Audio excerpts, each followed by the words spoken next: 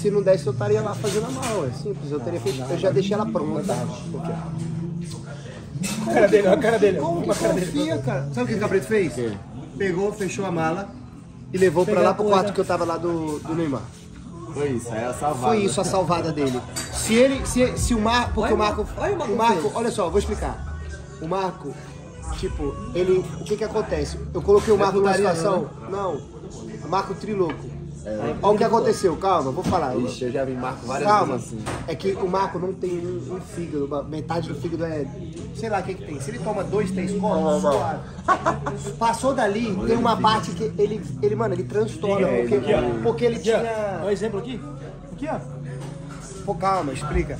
Porque, porque ele, ele, chat, tomou Rokutan e bebeu com Rokutan. Aí fudeu o fígado dele. Aí o que que acontece? Ele tava, tava saindo do, do, do lugar lá, ele falou pra mim, eu vou trazer sua mala. No meio do caminho, quando ele tava chegando, o Boca me ligou e falou, ó, bateu a brisa no Marco, tá louco. Ele Não vai dar. Ele começa a falar tudo menos português. Ele fala inglês, tudo fala menos português. Aí nisso eu eu falei, Boca, vê se o Cabrito consegue fechar minha mala e traz pra mim, porque o voo era. Mano, Ele nem falou o nada voo era logo depois. Aí, aí você viu a situação, ajudou. Se não desse, eu tava ali, eu ia pegar o Uber. Infelizmente eu ia ter que pegar o Uber. Mas aí eu tô nerviado. Ó, Deixa eu falar como ela tá falando lá fora. Posso falar? Ele falou que tem um cara careca lá fora.